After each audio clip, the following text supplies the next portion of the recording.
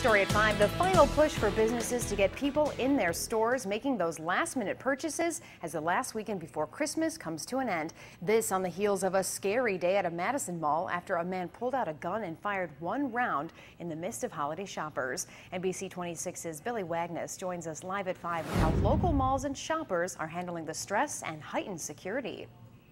Yeah, Holly, the National Retail Federation says just five days ago, a whopping 90% of holiday shoppers still had gifts to buy. And despite some we spoke with saying they're concerned by the latest mall shooting, they also say it isn't stopping them from making the most of this last big weekend.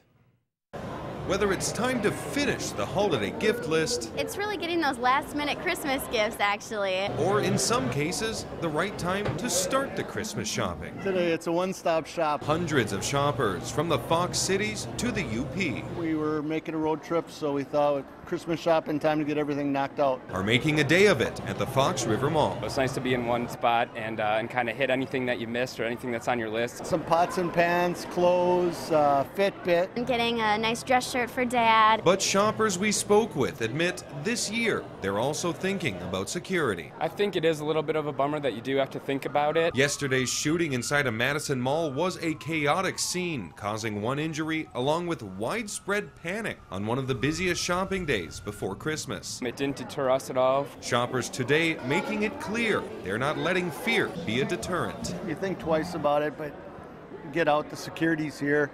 I felt pretty safe. Instead, shoppers we spoke with say they're taking the opportunity to be more aware. Map out any safety precautions that you can take right away. Just be mindful of nearest exits where you can take cover. I want to feel safe in public, and I do, so. keeping that final push to the gift wrap line a safe one.